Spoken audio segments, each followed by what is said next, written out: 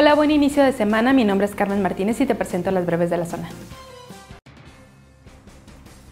A 15 días de la detención de José Antonio Yepes, mejor conocido como El Marro, el gobierno de Guanajuato concluyó el operativo Golpe de Timón y anunció uno nuevo.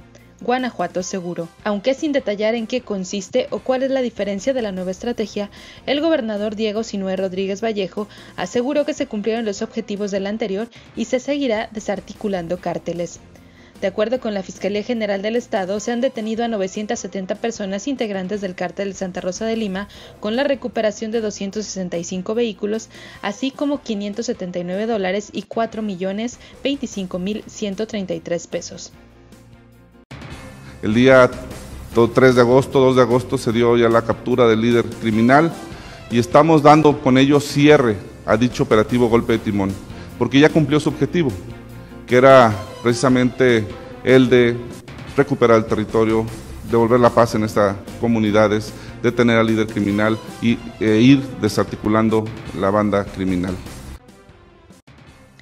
Carlos Amarripa Aguirre, fiscal general en Guanajuato, confirmó la desaparición de Liu Ujeda, director de comunicación social de este organismo autónomo.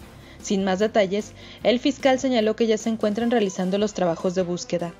Ayer a través de redes sociales, familiares, amigos y colegas informaron sobre la desaparición de Ojeda desde el sábado por la tarde. Iba hacia Salamanca y perdieron comunicación con él.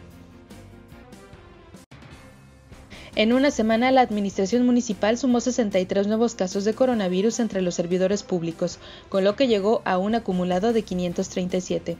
De acuerdo al último corte del 12 de agosto emitido por la Secretaría de Salud Municipal en León, una de las dependencias que sumó más casos fue la Tesorería Municipal, ya que mientras el pasado 5 de agosto contaba con 20 casos, ya llegó a los 39. No obstante, la dependencia que continúa a la cabeza con el número de funcionarios que han dado positivo a las pruebas de COVID-19 es la Secretaría de Seguridad Pública de León, quien tenía 220 y ahora acumula 237.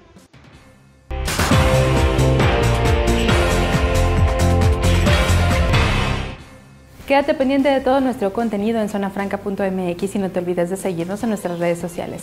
Más tarde ve el bloque informativo que te presenta Vania Jaramillo.